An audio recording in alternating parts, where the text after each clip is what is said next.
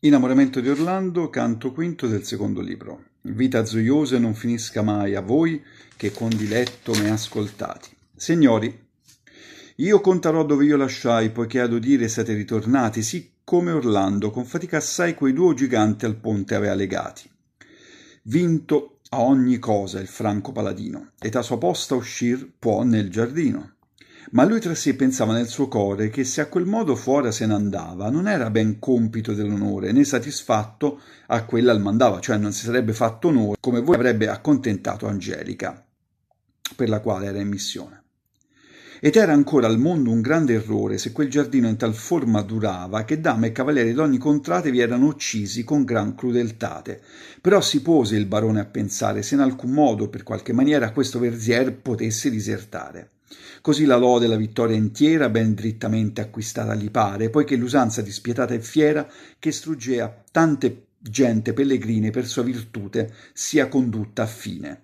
Legge il libretto e vede che una pianta a quel giardino in mezzo al tenimento, a cui se un ramo di cima si schianta, sparisce quel verziero in un momento ma di salirvi alcun mai non si vanta che non guadagni morte o rio tormento. Orlando, che non sa che sia paura, destina de compir questa ventura.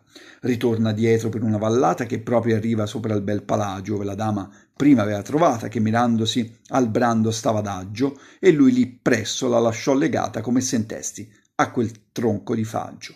Così la ritrovò legata ancora e vi la lascia e non vi fa dimora. De giungere alla pianta aveva gran fretta, ed ecco in mezzo di quella pianura ebbe veduta quella rama eletta, bella, dare oltre d'arco de turco non è sciaetta che potesse salire a quell'altura salendo i rami ed alto a fa spaccio, né volte il tronco alla radice un braccio.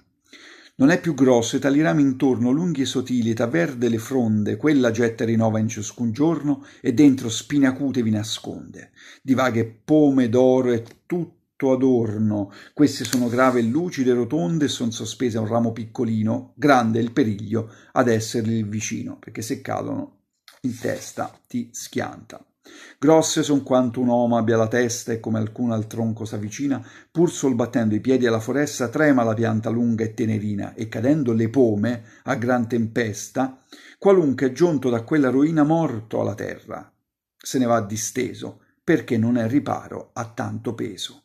Alti i rami son quasi un'arcata il tronco dall'ingiosa è sì pulito che non vi sarebbe anima nata se alcun fosse di salire ardito non seria sostenuto alcuna fiata perché alla cima non è grosso un dito. Ogni cosa sapeva Orlando a Ponto letto nel libro aveva ciò che io conto